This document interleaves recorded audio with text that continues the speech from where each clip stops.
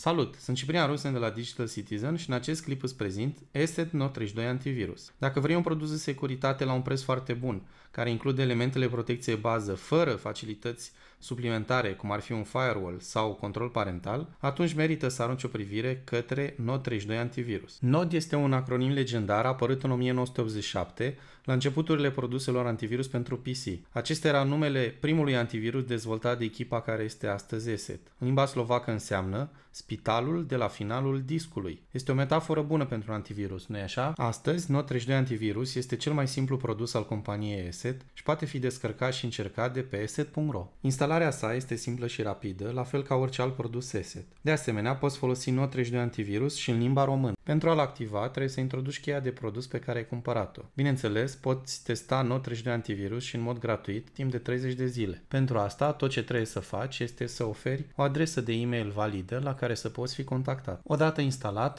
Node 32 Antivirus ne oferă următoarele tipuri de protecție. Avem protecție computer și protecție internet. La protecție computer găsim protecția antivirus în timp real, care include și protecție împotriva amenințărilor de tip ransomware, uh, un sistem de prevenire a intruziunilor la nivel de aplicații și un mod gamer, care este util atunci când vrei să te joci fără întreruperi ori să ții o prezentare. Dacă ne ducem la protecție internet, găsim următoarele. Protecție acces web, care ne protejează la navigarea pe internet, indiferent de navigatorul web pe care îl folosești, protecție anti-spam pentru clientul de e-mail pe care îl folosești și protecție tip anti-phishing care blochează site-urile înșelătoare și de tip phishing. Hai să vedem și cum funcționează. Să luăm următorul scenariu. Am primit un stick USB de la un prieten ca să copiez de pe el niște poze din vacanță. Imediat ce am introdus stick-ul în PC, ESET mă întreabă dacă nu cumva vreau să-l scanez. Este o precauție securitate importantă, așa că îi spun să-și facă treaba. Imediat ce începe scanarea, găsește virus ascunși pe stick, pe lângă pozele din vacanță care sunt stocate acolo. Să luăm un alt scenariu. Am primit pe e-mail o arhivă de la un coleg de muncă, așa că încerc să-i dezarhivez conținutul, să văd ce este înăuntru și cum este util.